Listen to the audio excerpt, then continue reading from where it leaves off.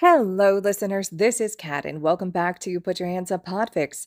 This will be the last and final part to Weekend at Bakugo's, Chapter 19. Aizawa was waiting for them in the common room, leaning against one of the sofas, clad in his usual black, but with slippers that definitely had whiskers. I don't want to know. Aizawa sighed as they approached, eyes flicked between Bakugo and the still floating Izuku. Just follow me. He led them out of the common room and through the already lightning corridors. I'm sorry for waking you so early, Aizawa sensei, mumbled Izuku as they followed in his wake. Aizawa waved away the apology. I was up anyway, nothing to worry about. Bakugo turned to grin widely at Izuku, who wrinkled his nose and stuck out its tongue. I fucking win. That trading card is mine. They entered the principal's office to see the man dog rat himself perched behind his desk, dressed impeccably as always despite it being the ass crack of dawn. If the principal thought Bakugo's Izuku balloon was strange, he didn't say anything, only smiled amicably at them all. On the glossy desk in front of him was a tea tray set for five. We're just waiting on one more, gentlemen, but please. He gestured to the chairs between them and him. Take a seat and help yourselves. As if on cue, the door they had just closed reopened and All Might entered, eyes finding Izuku immediately. Young Midoriya, you're back. What are you doing up there? he exclaimed, as his bony face crinkled into a bemused smile. Izuku began to stammer, and Bakugo felt him inch higher. He glanced up at Izuku. He was blushing madly and tripping over his words. Want me to handle it? Bakugo muttered out of the corner of his mouth. Izuku squeaked and nodded, tightening his grip on Bakugo's hand as his feet lifted above his head. Without taking his eyes off Izuku, he said, Nerd got flustered, so float's acting up. All Might looked from Bakugo to Izuku's bright pink but happy face, and to their joined hands in the middle. He flashed them a wide smile, then poured them all tea. Izuku slowly returned to ground level as they talked through the weekend from his perspective, landing in the armchair next to Bakugo with a soft thump. I was aware of everything that was happening, so I remember everything. But it was almost like watching a recording. Izuku sipped his tea, then shook his head quickly. No, more like playing a video game with limited control options, and all the dialogue was written by a four year old. That pulled a chuckle from the room. And I'm very sorry I didn't recognize you on Friday, All Might. Izuku looked mortified at the memory, but All Might just shook his head gently. That's quite all right, my boy. You didn't recognize any of us. What about control of your quirk? Nezu asked, over the rim of his own cup. That's more difficult to explain. It was like I accessed it accidentally, or more naturally. It was easier because it didn't occur to me that I couldn't use it. I don't know if that makes sense. I need to think it over some more. I don't think I could have used the percentage I can now, however. The smaller body probably wouldn't have been able to take the strain. Izuku mumbled, his speech quickening, words beginning to run together. Bakugo could see that he was teetering on the edge of a mutter pit, with his fingers twitching back and forth, taking notes on his thigh in the absence of a notebook. I've fucking missed you. Bakugo cleared his throat, and everyone's attention snapped to him. He hadn't said anything since All Might's arrival. Would it be worth Izuku getting everything down on paper and meeting with you properly later in the week, sir? He addressed Nezu directly. However, in his periphery, he saw Izuku smile at him in his peripheral vision. The principal smiled, furry face giving nothing away before turning back to Izuku. Midoriya, would that be suitable for you? I hear you have quite the talent for quirk analysis, and I'd be lying if I said I haven't been curious to see it in action, he said genially. With a small gasp, Izuku was nodding enthusiastically. Yes, sir. I'd be honored. Nezu clapped his hands together. Excellent. I look forward to it. Now, we will expect you both back in lessons this afternoon. However, visit to Recovery Girl is in order first. I know you said you feel fine, but it's better to be safe than sorry. Off you go now. Chop chop. Izuku and Bakugo stood, bowed, and left the office. With the sun now fully up, and the sounds of a school stirring from sleep drifting through the building, they made for Recovery Girl's infirmary. Izuku hadn't stopped muttering since they'd left the office. Bakugo knew he'd barely been holding back the flow, and so had let him ramble uninterrupted. He never admitted it out loud, but it was endearing. It was the soundtrack to his life, and he'd missed it. From what he was picking up, Izuku was quickly pulling apart the effects of the quirk, and Nezu could probably expect a full report, typed with appendices, by breakfast tomorrow. As they walked, Bakugo nudged his shoulder against Izuku's to bring him back to earth. Oi, nerd, you good? Huh? Izuku looked up, and Bakugo saw his eyes refocus on where they were. Oh, yeah, sorry, Kacchan. I'm fine, just, you know. He gestured vaguely at his own head. I know, it's okay. Izuku's shoulders relaxed, and he smiled, and Bakugo thought it might be his favorite sight in the world. It's a lot before breakfast. Mm-hmm, I'm starving, whined Izuku, causing Bakugo to snort at him. Their fingers brushed then, and Izuku's teeth appeared briefly to worry his bottom lip before he slid his fingers in between Bakugo's, interlacing them together. The intimacy of the move and quiet confidence from Izuku caused Bakugo to stop in his tracks. Izuku turned. This okay? he asked softly. Bakugo knew what he was asking. This wasn't the first time they'd held hands this morning, by any stretch, but this time they weren't running on post Izuku transformation nerves or post confession adrenaline now. This time it was, Are you sure? Are you still on board? Bakugo looked at Izuku as they stood in the empty corridor, the sun filtering through his curls from the window behind. A slight blush filling the space between his freckles, eyes shining. He swallowed. Okay doesn't cover it.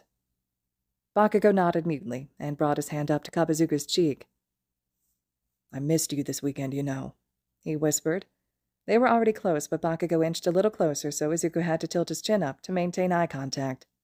His heart was hammering inside his chest, the blood pounded in his ears as Izuku's eyes flicked down to his mouth. He felt Izuku's free hand settle on his own hip and pull them tighter together. I missed you too, Izuku breathed, barely making a sound. Bakugo leaned in, and Izuku's eyes fluttered closed as their breath ghosted over each other's lips. A door behind them opened, and Izuku yelped as they jumped apart. Bakugo spun round, the embarrassed rage of the caught in the act already on his tongue, only to be confronted with the diminutive figure of Recovery Girl herself. Her smile was knowing, and the glint in her eyes more mischievous than it had any right to be. Good morning, boys, she said sweetly. I've been told that you've had a very interesting weekend. The checkup with Recovery Girl didn't take long. She had raised her eyebrows at Bakugo when her readings had shown that Izuku's pulse rate was elevated, but other than that, she confirmed that Izuku was, as he had said, totally fine. As they had stood up to leave, the infirmary door opened and All Might's bony face appeared. As you're not doing lessons until this afternoon, I wondered if I could steal you both for a spot of breakfast. Izuku's face split into a wide grin, and he nodded enthusiastically. Before Bakugo could agree or otherwise, Izuku had grabbed his hand once more and was tugging him along in All Might's wake. They arrived at the same staff room as Bakugo had found All Might in on Saturday when he asked about the party. All Might took a seat and they sat across from him, Bakugo's hand still firmly clasped in Izuku's. All Might was beaming at them, causing the corners of his eyes to crinkle, and Bakugo began to shift self consciously. You look happy, my boys. Bakugo could only duck his head as the tips of his ears went pink, but Izuku. Izuku wore his heart on his sleeve and could hide nothing from his mentor. We are, he blurted out before catching himself. I mean, I am. I. I don't know. I guess. I mean, I'm hoping. Quit rambling, nerd. Bakugo interrupted, and Izuku looked like he was trying to eat his own lips in the effort to stop talking, but Bakugo didn't miss the uncertainty that flashed across those freckles, like a dot to dot of insecurity. Of course I'm happy too, he grumbled, fixing his eyes on Izuku. I tried to kiss you, not an hour ago, for the love of God. He felt as if his face might burn away at the memory, and under the combined brightness of the smiles of both the symbol of peace and his successor. Beginning to feel decidedly uncomfortable under the attention, he stood up again. Look, I'll fuck off outside so you can catch up or whatever. He extricated his hand from Izuku's, a little reluctantly. I'll just be in the corridor. He added a little softer to Izuku, then grabbed a bowl of rice and his teacup before leaving the two alone. Shutting the door behind him, he slid down to the floor with his legs stretched out in front. The door wasn't soundproof by any means, but he'd been up for several hours already and could easily fall asleep leaning up the door once he'd eaten. I don't think I've ever seen you smile so much, young Midoriya. Came All Might's quiet voice drifted through the wood. Oh, I. I didn't realize I was. It's. Kacchan. It's been a strange morning, All Might, Izuku replied, a light laugh in his words. Bakugo knew the nerd would be rubbing the back of his own head with one hand, the other wrapped around a teacup. I imagine it has been. I. I. All Might faltered. It was followed by a loud sniff, Bakugo's brow furrowed, and he prepared to get back up to see what had made Izuku cry so quickly. Uh, All Might, what's the matter? All Might? Oh, my boy, All Might murmured, an uncharacteristic wobble in his voice.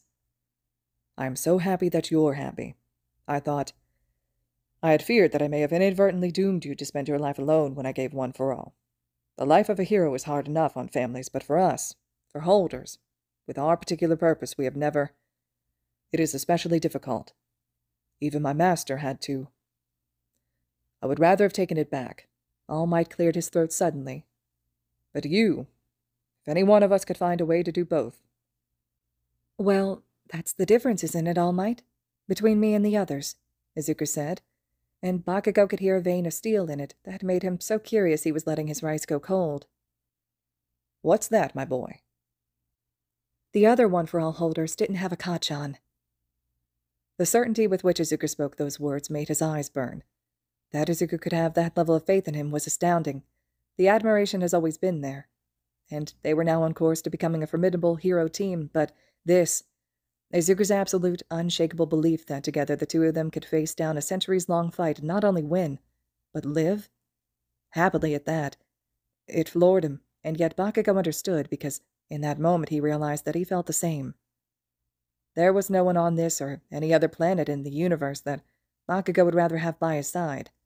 To have his back. To go home to at the end of it all. Than Midoriya Izuku. He knew this now, as sure as he knew gravity kept his feet on the ground. And then he was tipping backwards, and his rice was flying upwards as the door opened unexpectedly. A hand caught the back of his head and stopped him falling all the way. He looked up to see Izuku, mouth twitching. Were you just sitting outside, leaning up the door? Izuku teased, clearly fighting a smile.